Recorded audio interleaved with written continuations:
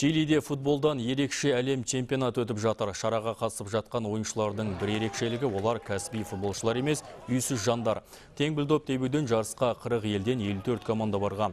Ерлер мен әйелдер бөлек топта сайысады. Ұйымдастырушылар тұрғылықты мекен жайы жоқ адамдарды футбол ойнату арқылы басқада тұрмысы нашар үйсіз жандарды білім алуға, жұмыспен қамту жолдарын іздеуге шақырады.